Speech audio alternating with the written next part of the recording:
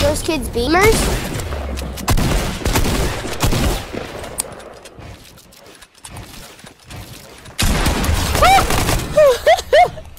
I walked straight into him.